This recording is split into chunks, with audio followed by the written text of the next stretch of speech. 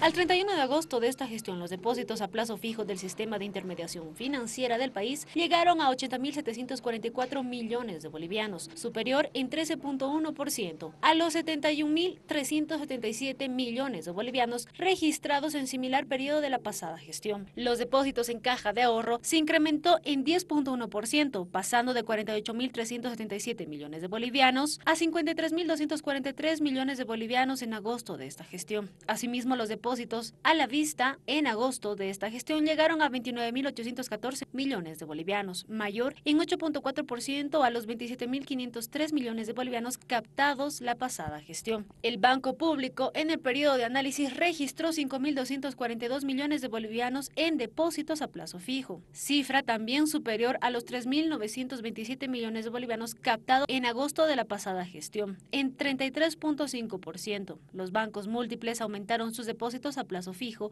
en 10.3%. Así también, los depósitos en cajas de ahorro de bancos pymes se incrementó en 20.1%, de 532 millones de bolivianos a agosto del año pasado a 639 millones de bolivianos a agosto de esta gestión, mostrando así un sistema financiero saludable y estable en el país.